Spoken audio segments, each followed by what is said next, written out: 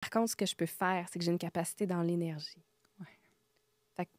Moi, à ce moment-là, j'ai fait, tu sais quoi, j'ai pris le lampion de ma mère, je l'ai allumé, puis j'ai demandé aux personnes de ma communauté de faire, tu sais quoi, on envoie un égrégore d'amour à ces personnes-là, à ces enfants-là, à ces parents-là.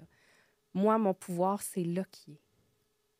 Je peux pas rien faire physiquement, mais dans l'énergie, je peux et j'y crois.